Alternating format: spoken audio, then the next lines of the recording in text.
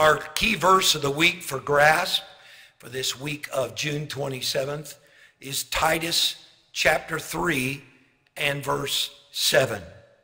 The verse says that being justified by his grace, we should be made heirs according to the hope of eternal life.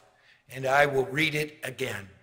That being justified by his grace, we should be made heirs according to the hope of eternal life.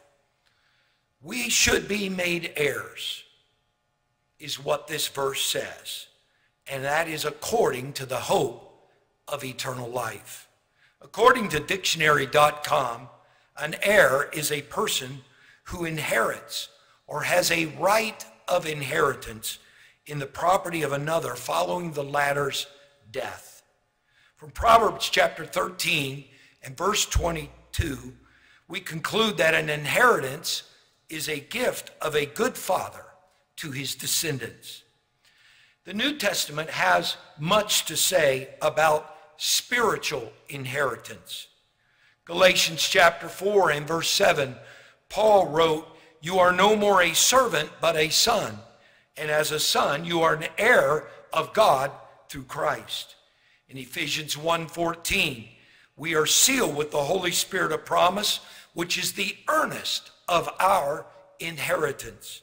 Colossians 1 and verse 12 tells us about the Father, which made us meet to be partakers of the inheritance of the saints of light. And the book of Hebrews says, Because you serve the Lord, you shall receive the reward of the inheritance. And 1 Peter chapter 1 and verse 4, to, we will have an inheritance incorruptible and undefiled, and that fadeth not away. It is reserved in heaven for you. We are made heirs by the process of new birth and receiving also the spirit of adoption. Legally, in heaven, when we have those experiences, we become heirs of God. A young man once asked an old rich man how he had made his money. The old guy fingered his expensive wool vest and said, Well, son, it was 1932, the depth of the Great Depression.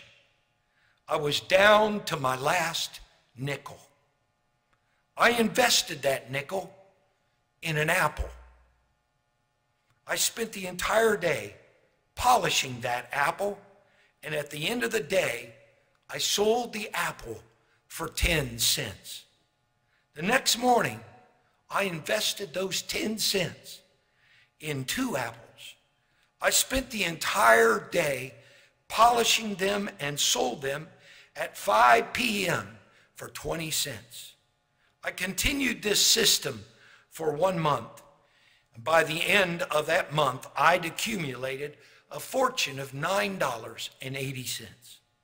After that, the old rich man continued, I invested the $9.80 into a market stall so I could polish and display a lot more apples.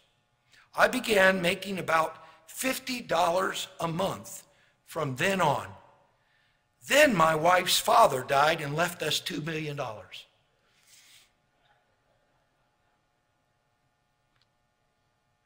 Like the man who shined and sold apples, whatever we did in our efforts to obtain treasure in heaven fell really short of the mark. The real wealth that we have in heaven is not our own righteousness, but it's that of the Lord Jesus Christ. Look at Titus chapter 3 and verse 5. Just two verses prior to our verse of the week.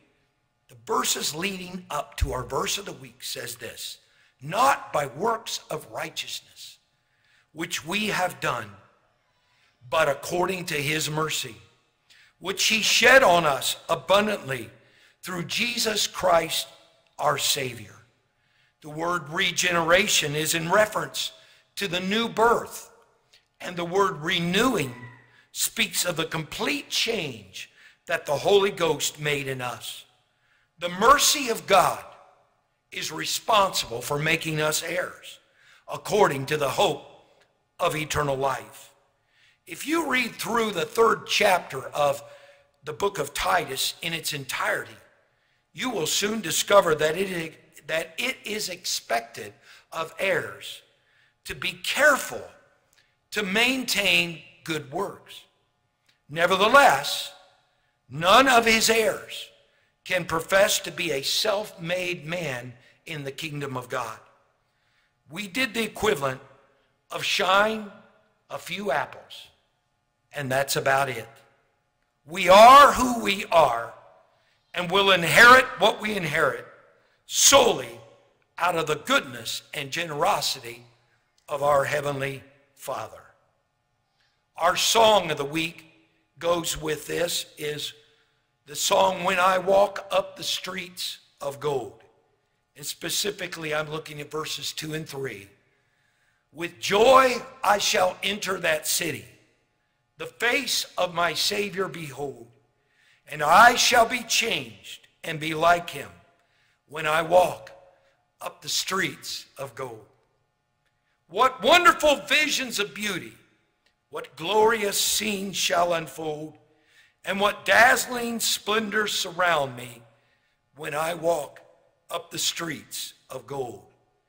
When I walk up the streets of gold, when I walk up the streets of gold, how my heart will rejoice in that morning when I walk up the streets of gold. Let's pray. Heavenly Father, I praise you for your grace, which justified us. I praise you for your kindness, your love, and your mercy that made all the difference in our life. The Holy Ghost that cleansed us and gave us new life and hope. I know that your word declares those who have experienced these things are your heirs. None of us could ever be worthy of the inheritance that you promised. But I pray that all of us will be faithful and careful in life so as not to dishonor your name as we wait for our inheritance. In Jesus' name we pray. Amen. One church, one God, one gospel. Southern Oaks United Pentecostal Church.